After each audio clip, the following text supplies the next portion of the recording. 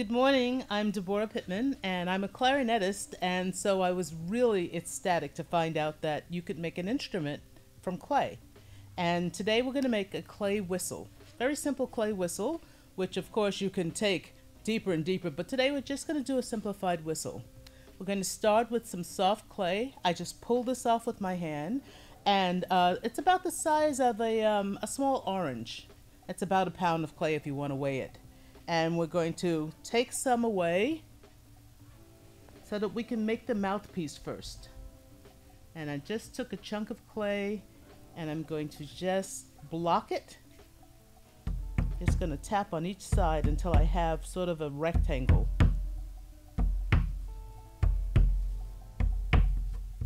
And I might squeeze it out to make it a little longer. I like to make um, the mouthpiece first because um, it has to set up and dry a little bit before you attach it to the whistle. And I also always like to make enough that I can have two in case the first one just doesn't work and we have to go to another, then we have another one ready. So, um, I usually take a chopstick and I just thread it through, trying to stay in the center. What I'm trying to do is I'm trying to make something that's like a clay straw. And there it is coming out of the other end. And now that it's on there, I'm just going to roll it, roll it, and I'm going to roll a little bit more so I can get it big enough to cut two mouthpieces from it. Alright, so I'm going to take just the tip of this little cutting tool and for the mouthpiece part you are going to need something that's fairly sharp. Um, a knife, you might have to have someone a little bit older help you with the cuts, but the cuts on the mouthpiece have to be very sharp and crisp. So I'm just going to cut this little guy in half so I have two of them.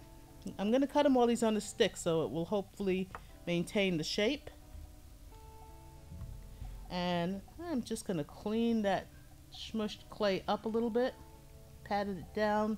I'm trying to rem remember to keep the hole open because that's where the air goes from your mouth into into the whistle. And I am not going to cut the shape on these until a little bit later until it sits up. So I'm going to set that there. So back to our ball of clay. And I'm just compacting it in my hand. I'm going to roll it into a ball. It doesn't have to be a perfect ball. And then I'm going to cut it in half. And this is a cutting wire, but of course you can use the long piece of string. Uh, you don't have to have fancy tools to do this.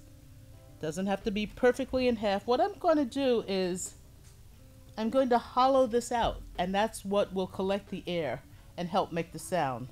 So I'm taking half and I'm putting it in the palm of my hand and I'm going to use my thumb and index finger and I'm just going to press down. It's if you're familiar with a pinch pot, this is kind of how you start pinch pots. You're just going to shape it, and as you can see, I'm uh, I'm making a, a big depression here in the in the middle, and I'm going to try not to go so far that I lose my nice thick edge, because the thick edge is how we're going to connect the two pieces, and if it gets too thin, then there's complications. I'm going to continue to pinch this with my thumb and my index finger. And sometimes I use both of these two fingers just because I can get it a little bit more even. When I was taught how to make this, they always said, use just the index finger, but I'm going to do what works for my body a little bit better. There we are.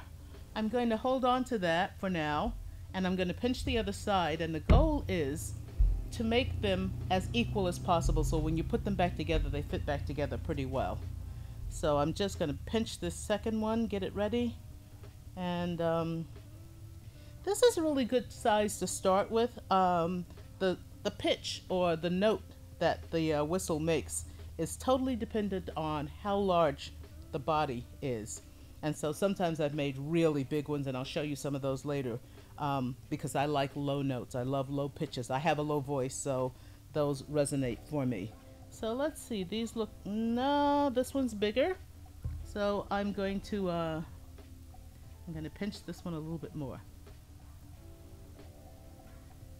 And the size is really, um, it's really up to you. It's really good to start with the smaller one so that you, if you have some problems, you have fewer problems and that looks good. So I'm going to take a, this is called a serrated rib and it's got an edge on it that scratches this up nicely, but you can use a fork. You can just use a fork to scratch it up. I'm gonna take a sponge, get a little bit of water, and I mean a little bit. Don't drown your clay. It'll take forever to dry and it'll be really sticky.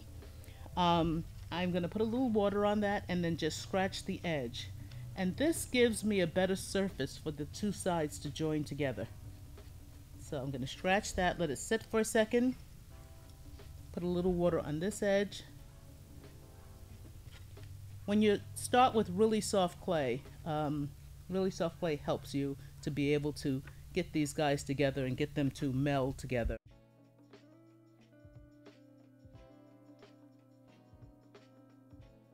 Alright, so I'm I scratched, I put water on first, then I scratched the surface, now I'm putting water on a second time, and that will really make these two pieces of clay grab each other.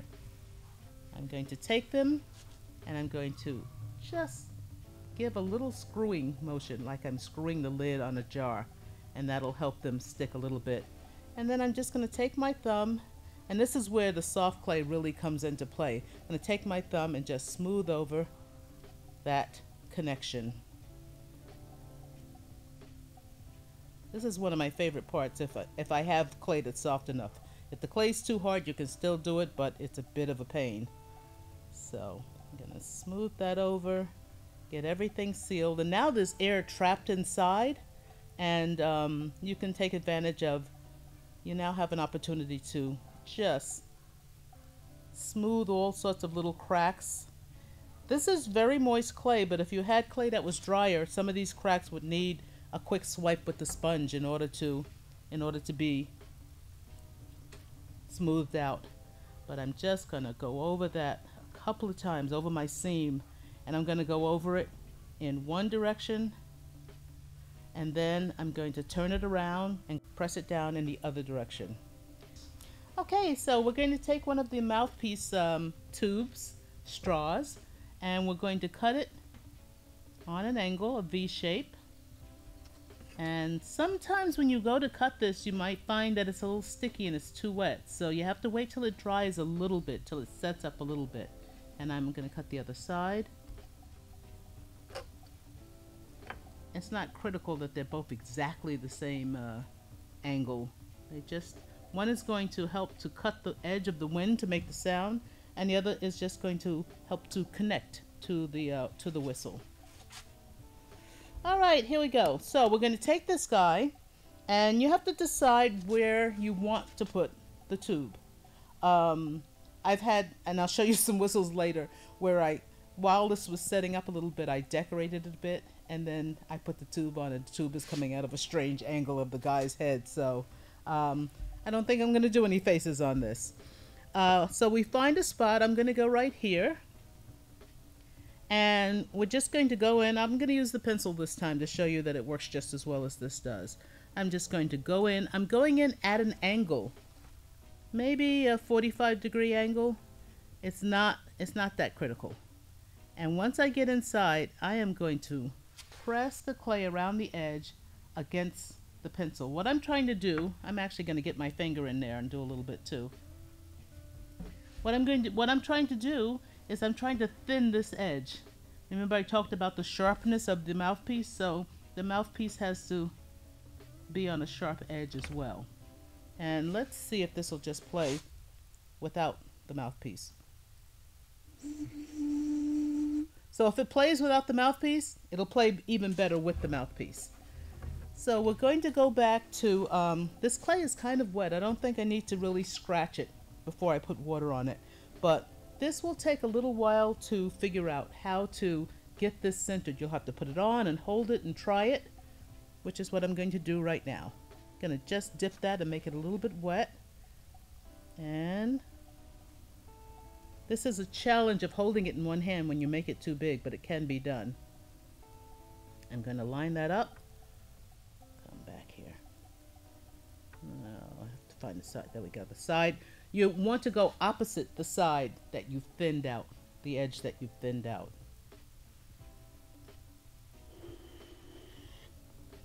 Okay. I'm going to thin out the back a little bit also just to move that clay away so I have a nice sturdy place to sit it on. That's thinned out. And I, was, I can also flip it around if one side works better than the other.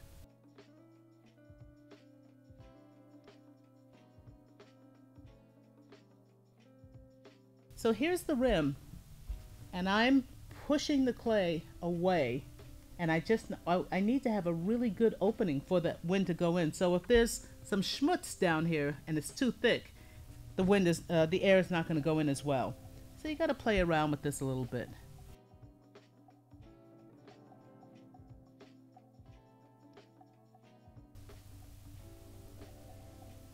So I'm going to work to find the right angle.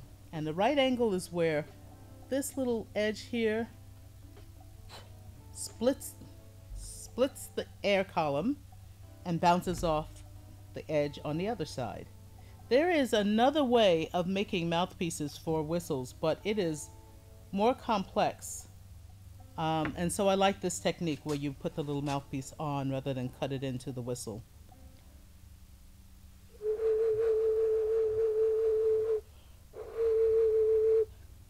So we are there. You have to hold on to that. You have to get few little pinches of clay to secure it. Little pinch, and I'm just going to stick this one back there. And I'm going to use the chopstick to get it in. And that's support. I'm, I'm going to work to put support around this entire mouthpiece, but I have to keep playing it to make sure I haven't moved it. I'm going to show you this. You cannot cover the hole at all. That collar needs to stay back. It's like supporting from behind.